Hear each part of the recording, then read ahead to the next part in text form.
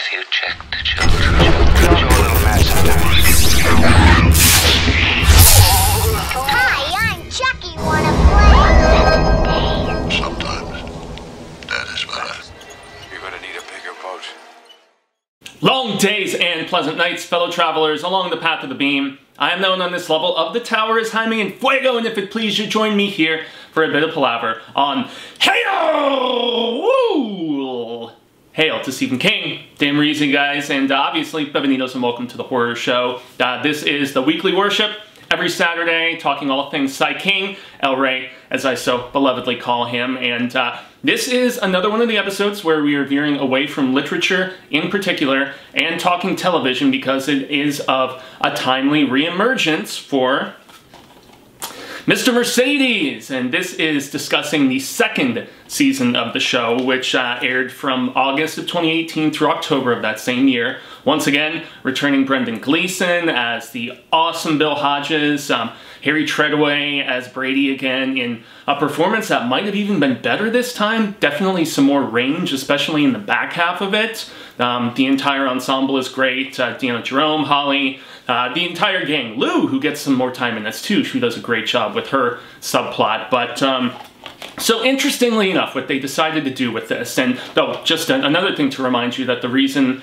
I am doing these first two seasons of the show finally is because uh, the now defunct AT&T Audience Network, uh, they had the chance to pass the baton of this show over to NBC Universal's Peacock TV streaming app, which I guess is going to be rebranded Universal Plus at some particular point. But uh, yeah, so the first two seasons, not the third one unfortunately, at least not yet, are both available there. Season one, which I already reviewed, it is available for free, totally for free, because Peacock is one of those services where they like give you a taste of like a few episodes of a show or like a season or two of a show and then they're like, yo, you want to watch the rest? Haha, first hit's free. You know, then you got to pay after that. So the second season is a pay sort of situation. However, they have a seven-day free trial and then it's only $4.99 a month after that. So I don't know if that's worth it to you or not, but there's 10 episodes in this second season and uh, I mean, if you can knock 10 out in a seven day free trial, by all means, or if you want like over 10 hours of entertainment, if you add up the runtime of all of these episodes, I mean, $4.99, that's like, I mean, come on guys, what do you spend to VOD a movie and just rent it? You know, $4.99, $6.99, whatever. It's a pretty sweet deal, especially for a show that is masterfully put together. Um, Jack Bender returns uh, to direct most of the episodes, I think there was like two or three of the 10 issue, uh, 10 episode order that he didn't end up doing. But David E. Kelley, writing, developing, being, you know, the main showrunner of this, it's a very accomplished show and one that I still hope that more people get the chance to check out. So now to the point I was initially intending to make. So to continue the Brady story as opposed to doing the one on, one off, one back on sort of situation like we got in the Bill Hodges trilogy, um, basically they went from book one, uh, which is what the first season was essentially about, very faithfully adapted and for, for the most part, just expanded on a couple characters uh, like Brady's boss and Lou, um, his mother a little bit more with some of her backstory and an old high school flame and so on and so forth. But yeah, they, and also Bill's neighbor, who I don't particularly like that much, she feels out of place, but whatever, that's not the point. So the first season was actually a very faithful adaptation of Mr. Mercedes, the first book. Second season, jumping from book one to book three, which was End of Watch, which came out in June of 2016, I must say, and I've gone on record on this channel talking about this before, and I'll do a five-year anniversary sometime in 2021 all about uh, End of Watch, which I really liked Mr. Mercedes, um, the book. I loved Finders Keepers, the second book in the series, which did something drastically different, and I just dug the hell out of it. And then End of Watch was a big-time disappointment for me especially with the bringing in supernatural elements and stuff, but once again, I'm not here to talk about that book. I will say that season two, while adapting End of Watch in a lot of ways, really diverts from that source material, so much so that I like the second season of Mr. Mercedes way better than I like End of Watch. Seriously, especially in the back half of the season, they do a lot of stuff differently. They still incorporate some of the elements, which essentially entails at, at the end of the first season, you know, Holly with her uh, bag of uh, coins or uh, ball bearings, whatever the hell it was, I forget specifically. But she's got like a bag of a bunch of pieces of metal, bashes the hell out of his head. He's in a coma, but he's not dead, obviously, and uh, he's being kept alive on all kinds of machines and stuff like that. And uh, one thing they did in uh, Finders Keepers, the second book, was just to keep in mind that Brady is still around, there's a scene where Hodges goes to visit him.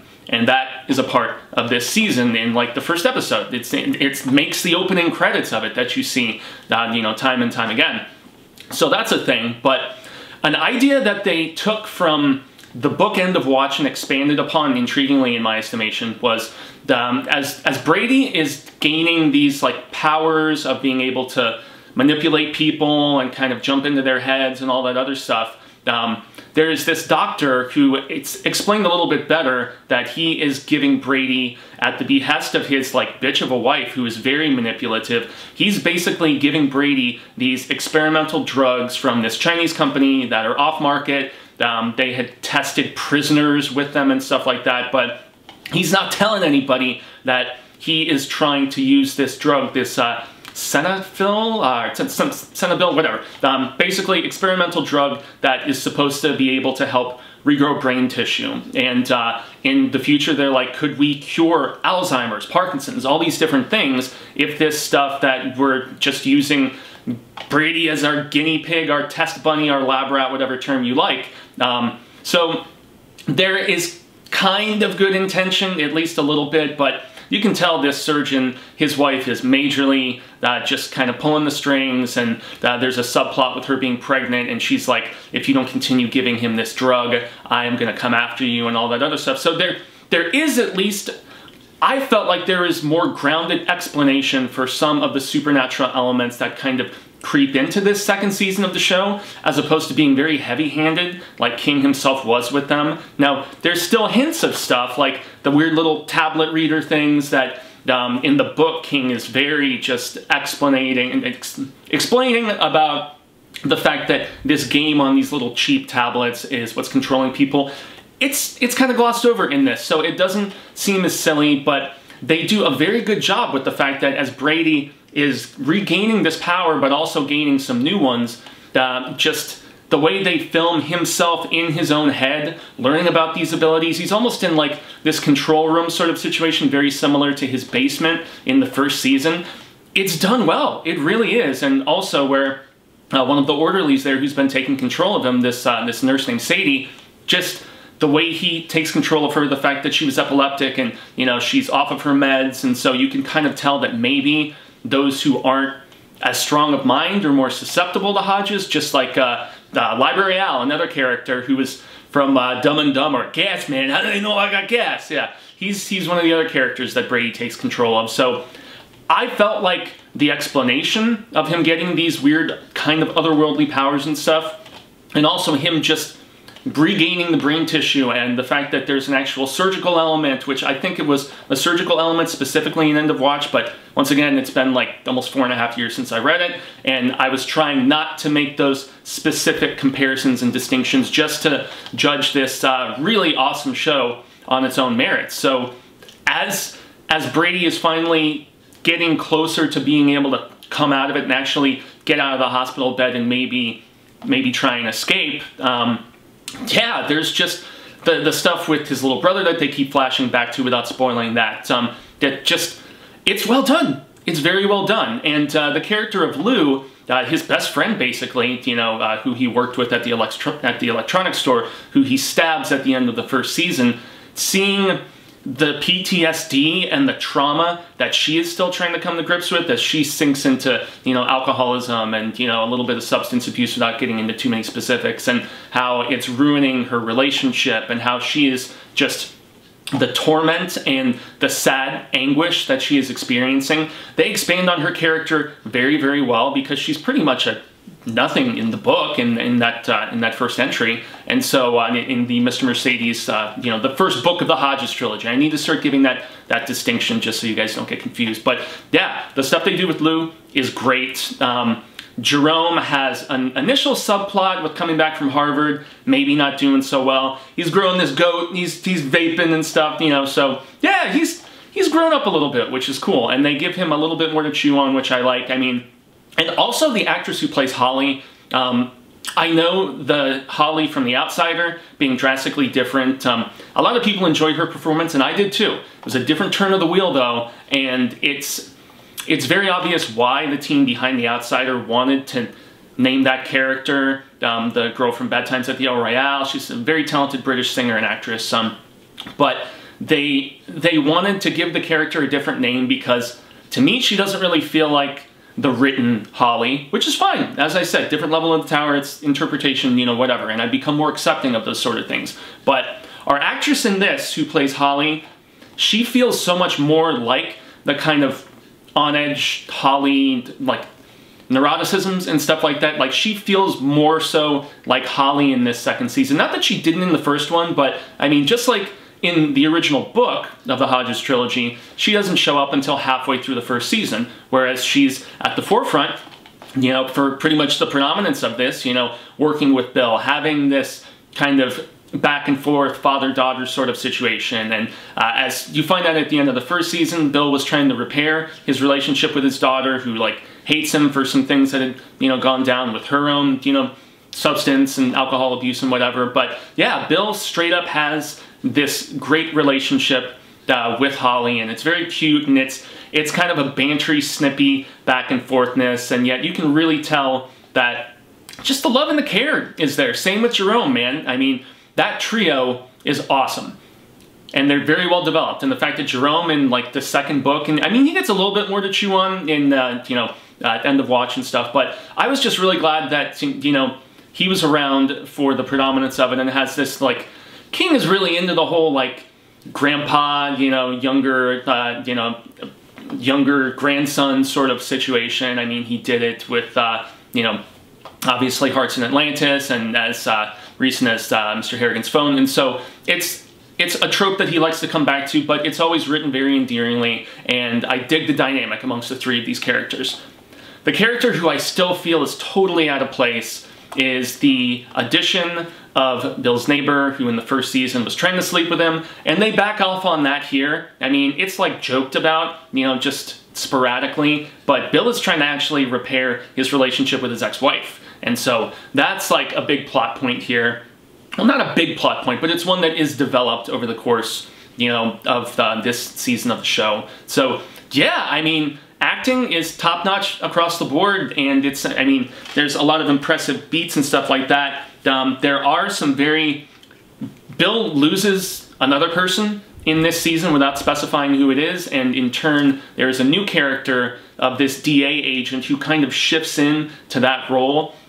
Um, you know, basically wanting Brady to come out of this coma so he can properly prosecute him and, you know, give him the death penalty or at least, you know, throw him away and in prison and, you know, just flush the key down the toilet sort of situation. But um, the, the grieving sequences that are in the very first uh, episode of this show are really touching and really tough. And I have to also say the music throughout this entire show, it spans the gamut of classic stuff, whether it's, you know, more on the rock side, whether it's like kind of the, you know, doo-woppy old, like almost Motown sort of stuff and just that, that era. I'm glad that they don't really, I, I, I love the punk rock that Brady was listening to in the first season, but that's really less at the forefront. It's more so like, dare I say old timer music, but I love that sort of stuff, you know, with the 50s and 60s tunes and occasionally 70s stuff that I grew up on driving around with my pops listening to in the truck. It's it's rife with that throughout. The soundtrack is terrific and it always just imbues whether it's a sense of sadness or whimsy. It's like all across the board in that regard, man. The, the show is just really professionally put together from top to bottom, whether it's the production values, whether it's the acting.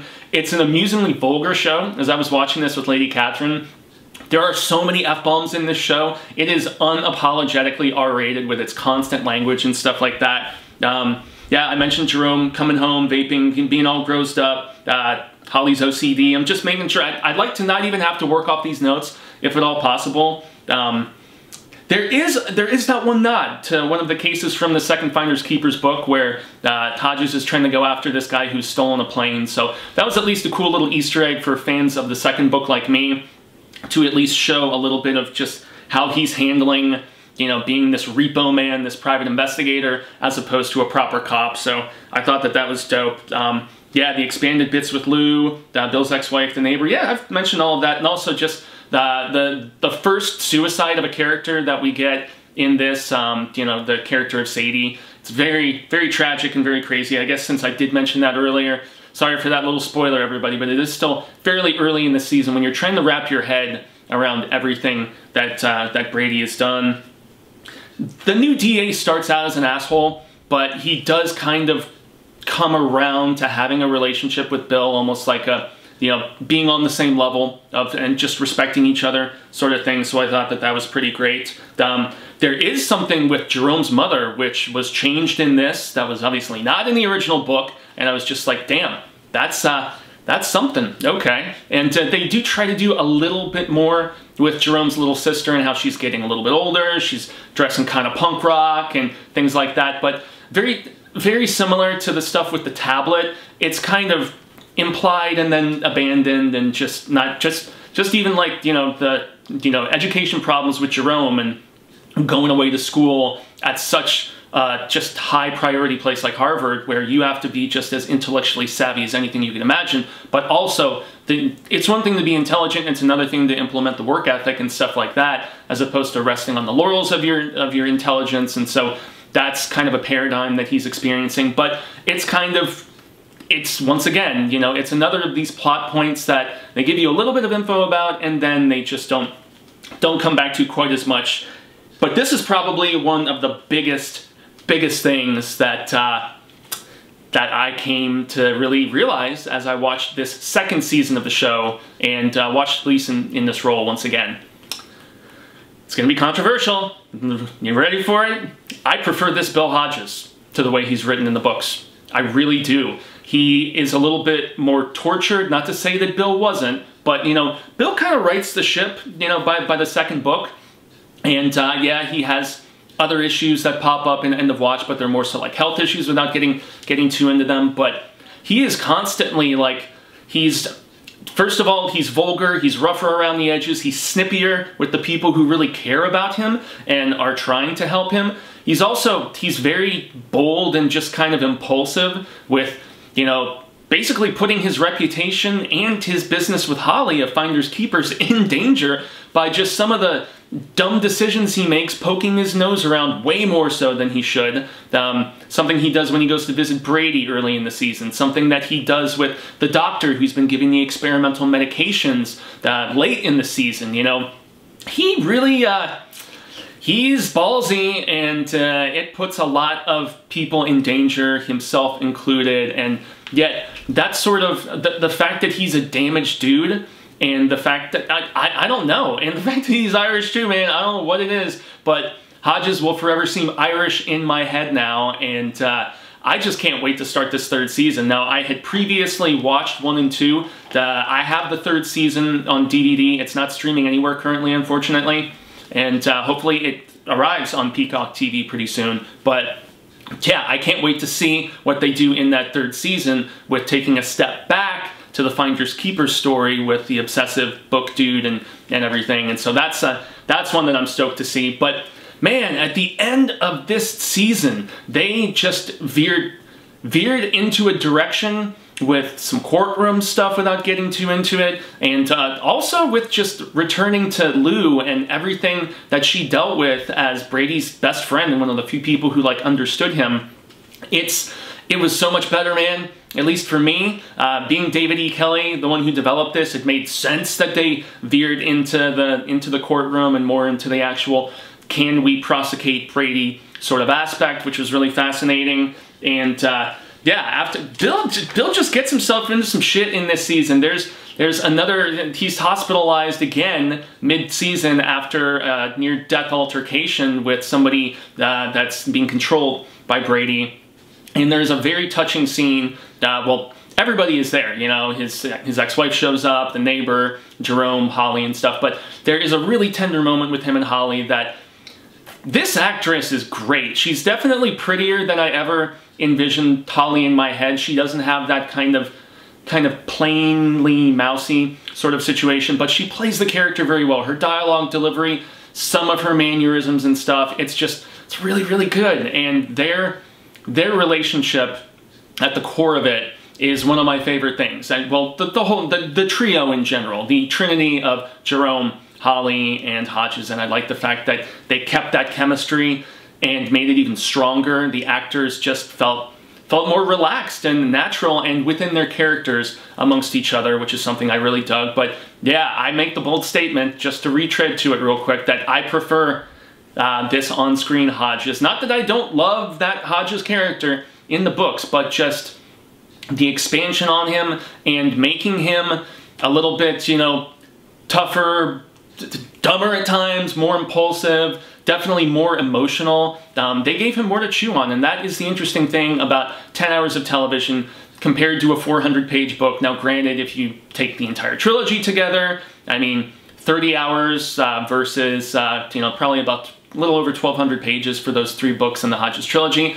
I don't know, but I definitely, guys, I recommend the hell out of Mr. Mercedes. Season 2, once again, Peacock TV is where you can find it. Um, first season, totally free. Second season right here, which um, if you really want to own it, Amazon is your best spot. I think it's like 20 bucks for it, which is where I got it. And, and it was in a couple stores like Target for a while. I don't think it's still there, I'm not sure. But um, yeah, second season, free seven day trial or $4.99 a month. It is so worth your time. There's still some things that I didn't like as much about it. Like they they spent too much time in Brady's head and he had like these silly training sequences and stuff like that. But I mean, as a whole, there's really just really not much that I can say about this aside from, you know, uh, the prior criticisms about the out of placeness of the neighbor and trying to factor into the narrative when she, she doesn't really do very much. She's like, oh, rebuild my gazebo, and that's that's about it. So yeah, man, this is this is streamlined storytelling. The changes I really enjoyed compared to the end of Watch Book, and uh, yeah, once again, Mr. Mercedes, season two. It's pretty badass. So I've been Jaime Fuego. Y'all can find me on all social media sectors like Twitter, Instagram, Facebook, here on YouTube. Uh, just a reminder, there is also a Hail to Stephen King Facebook group, guys. And uh, yes, that's where we have daily palaver, almost a thousand people on there. Um, yeah, it's a lot of fun. And we do a book of the month for this show the first Saturday of every new month. So at the beginning of December, first Saturday of December, we are going to be doing for its anniversary, The Bazaar of Bad Dreams, as I announced during the Salem's Lot review. Uh, obviously, a like, a share, a subscribe here on The Horror Show is supremely appreciated, guys. And uh, yeah, that's going to be the end of it until I cover the third season of Mr. Mercedes, um, which I'm not sure when I'm going to do. I'll probably probably watch and film the review, but I don't know if I'll drop it until it's actually on Peacock. So you may see a very different looking Fuego months down the road whenever that debuts and stuff. But uh, yes, as always, your presence here, having a little time with me is greatly appreciated, everyone. And uh, until the Wheel of Ka comes around once more, hasta luego, Cinemigos, constant readers and viewers, I'd like say thank you for your time today. I hope we share more of this palaver sooner rather than later. And until then, stay scared. And yes, read Stephen King, obviously, but in this instance, I urge you to watch Stephen King.